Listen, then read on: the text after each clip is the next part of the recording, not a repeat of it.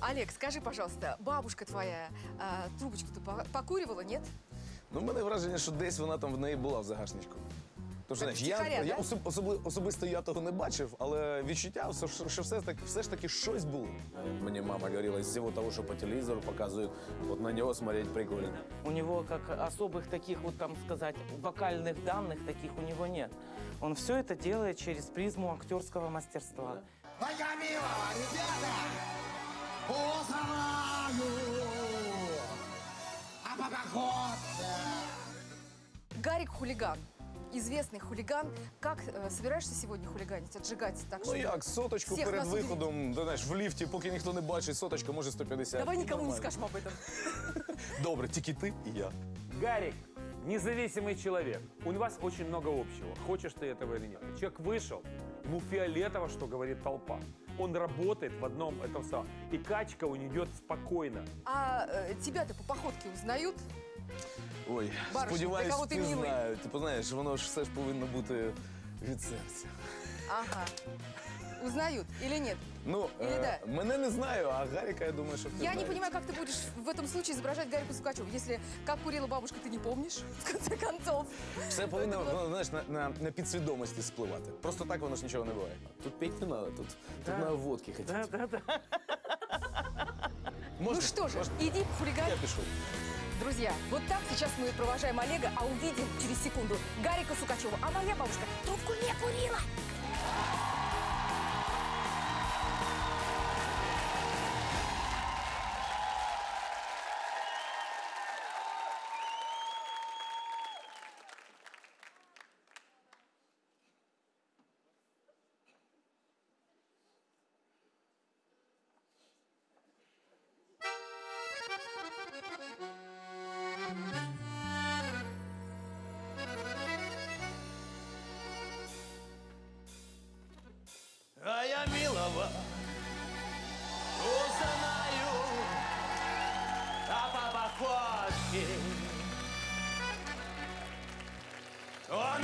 носит, а носит брюки, а галифе.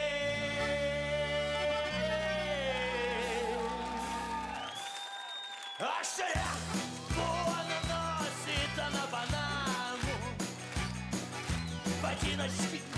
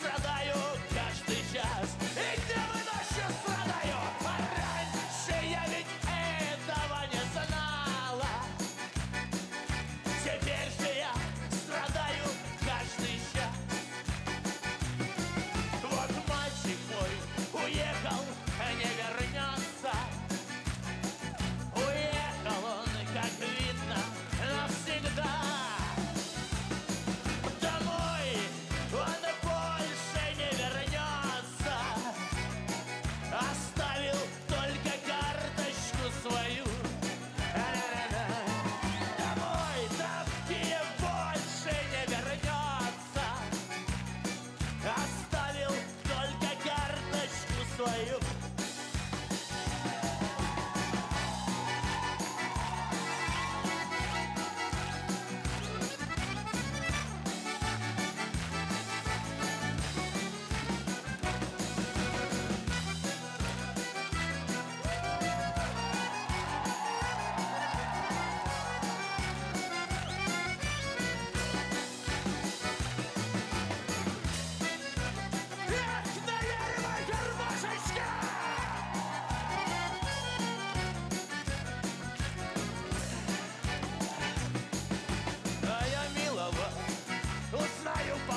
поводке Он носит, а носит брюки.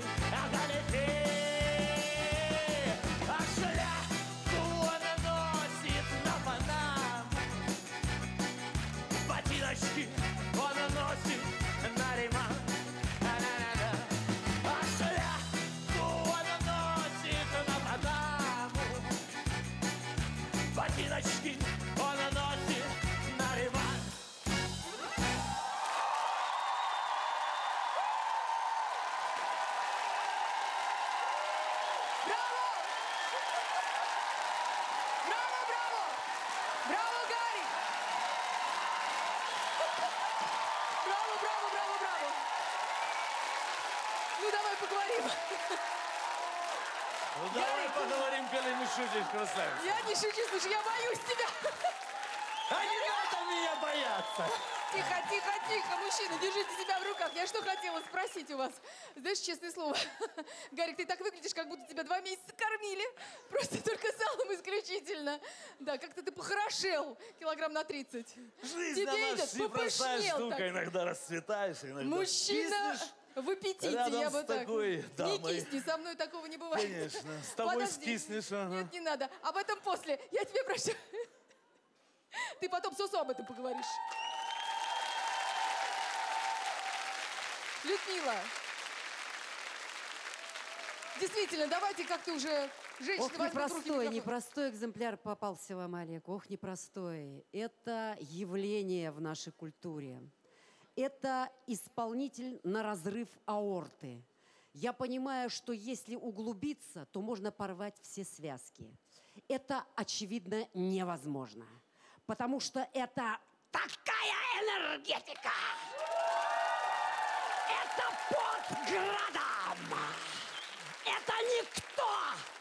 Но ты оторваться от этого персонажа не можешь. И это невозможно. Но мы же Да не тянемся. могу, не это, могу. это тянемся, мы тянемся к совершенству. Мы тянемся к этому. И эти попытки, которые были, они были прекрасны. Спасибо.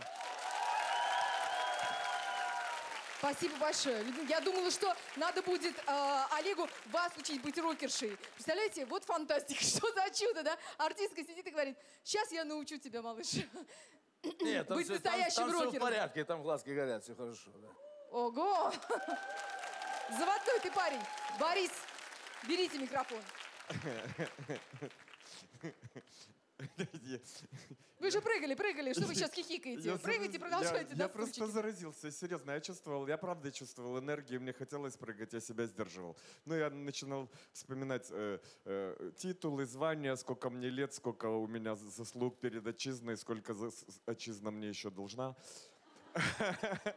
Вот. Э, Большое спасибо, правда. Я сегодня хорошее выражение прочитал. э, Ну, в книжке в одной там написано, что Михаила Шафутинского э, спросили, кто талантливее, он или Чайковский. Он подумал недолго и сказал, ну мы же в разных жанрах. Я думаю, что вот то, что мы сейчас увидели, вот так было. Спасибо. Сусанна, скажите, пожалуйста, как вам фагот?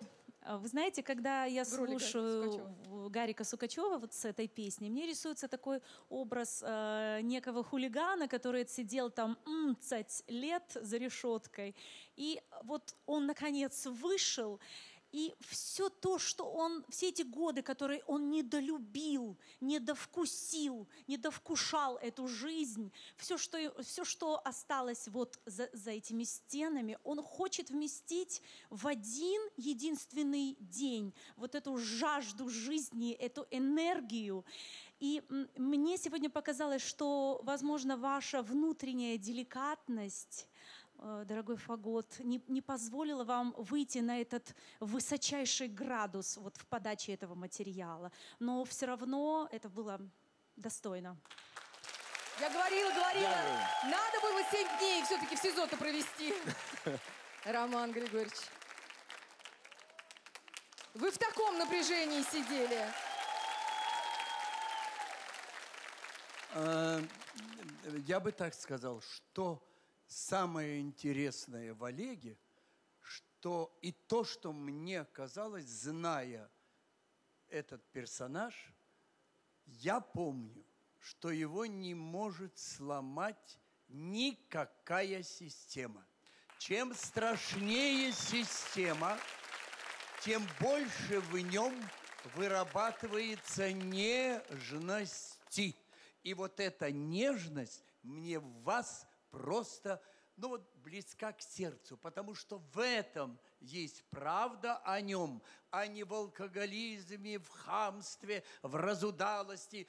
Она гениально, Людочка, дала вот это самое темперамент. Ее ждет роль Эдиты Пьяф. Ей пора уже это играть. Да, вот.